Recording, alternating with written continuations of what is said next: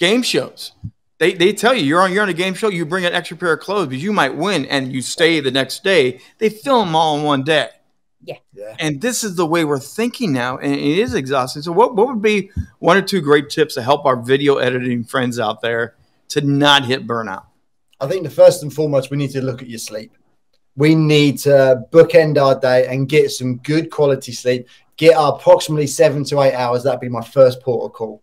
Do you know what I would be doing? I'd be setting alarms at the desk every hour and a half. Get off your butt, right? Get outside, get some sunlight in your eyes, walk on the grass, you know, and connect back down to, and ground to the earth.